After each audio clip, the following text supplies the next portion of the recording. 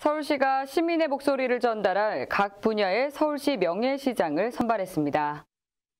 서울시는 지난 22일 서울시청 본관에서 제5기 서울시 명예시장 위촉식을 개최했습니다.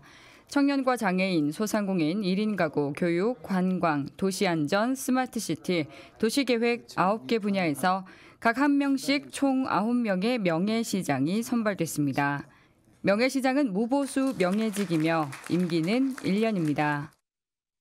아무래도 현장에 답이 있다라는 그러한 어떤 어, 마음을 가지고 또 우리 서울시의 좋은 정책도 제안하고 또 그리고 서울시가 지향하는 다양한 정책들이 많은데 모르는 분들도 많이 계시거든요. 그래서 실제적으로 그런 어떤 정보나 정책도 많이 알리고 약자들이 또 우리 장애인 쪽이나 소외계층 쪽에 많이 계시니까 함께 같이 갈 수 있도록 제가 브리지 역할을 하겠습니다.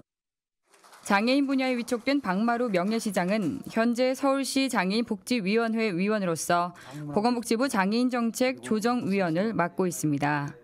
그는 앞으로 주요 장애인 정책 수립을 위한 각종 회의에 자문으로 참여하며 장애인과의 소통 창구로서의 역할을 충실히 해 나갈 예정입니다.